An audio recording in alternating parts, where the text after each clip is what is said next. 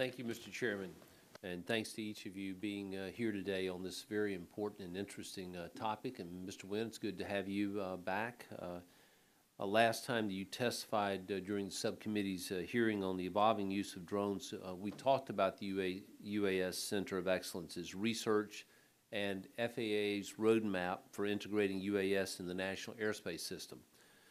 Following up on that discussion, what areas of research do you believe that the Assure program should be focusing, focusing on to more rapidly implement routine UAS package delivery system?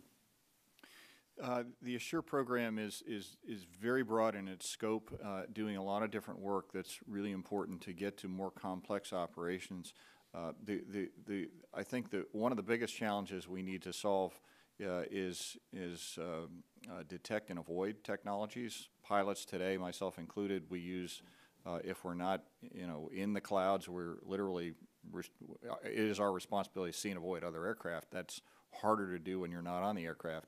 So um, we're developing technologies for see and avoid, well clear standards, et cetera, et cetera. All of that work is being led uh, by the Center of Excellence. It's being uh, distributed through uh, uh some of the best minds in the country uh, and, and a lot of collaboration going on. So I would choose that as probably one of the, one of the seminal technologies that is being developed today.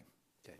And obviously, those that are flying uh, private aircraft, commercial, they've got to know that something's in that space. And then I guess the, the drones themselves need to be able to realize that they're both in the, the same zone. Is that what you're referring to? That's exactly right. So there, there's, there's, I mean, we're, we're talking about smalls today, under 55 pounds, small UAS. Uh, ultimately, there'll be aircraft of all sizes, and there are aircraft of all sizes already that fly in, in all areas of the airspace. Um, so, you know, it's, there are different kinds of rules in, above 18,000 feet Class A airspace than we would need below 400 feet where there's very little traffic.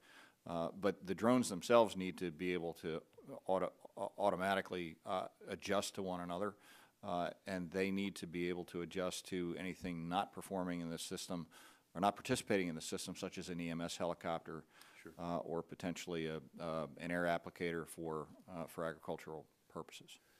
You know, we, uh, we certainly know that the, the drone delivery business idea is not just limited to the United States. Uh, and we've been advised that the Assure program has been contacted by other countries asking for information on its research. How important is regulatory cross-border harmonization to the drone delivery business?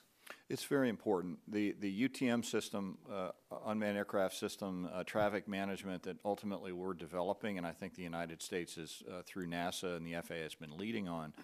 Uh, ICAO, the International uh, Civil Aviation Authority or organization in Montreal, recently launched an initiative uh, with with NASA. They they recognize many member states at ICAO recognize that they, they don't want to do this all themselves.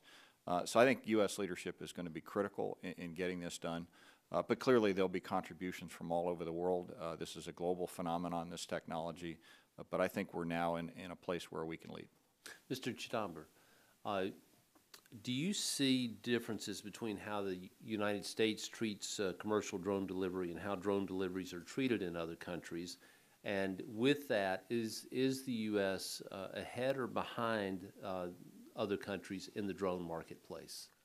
Um, on the regulation side, I think the FAA has been slower than uh, their equivalent authorities in other parts of the world. I'm thinking particularly of New Zealand, where we actually uh, delivered Domino's Pizza in, uh, in New Zealand, in Auckland actually. Uh, the approvals came faster. It was based on risk assessment, uh, not you know, just the aircraft, but who's running the aircraft, what controls are there, and so on. So a risk-based analysis of approvals is probably what we require. And I think the FAA is heading in that direction. We'd like to see them go faster towards that goal. And I think we'll get there. And you think the risk assessment is, is key to this? Absolutely, yes. Okay. Uh, I mean, I think the threat from perhaps a hobbyist is greater than a legitimate operator who's running a business and making deliveries for medicine or pizza or whatever it might be. That person's going to be carrying insurance, carrying, uh, you know, it's their brand. They got to protect all that. So a legitimate business, which is operating under the confines of the rules of the land, are going to be quite cognizant of all of these things. And Thank safety you. is a big issue for them. Thank you very much. My time's expired. I yield back. The gentleman.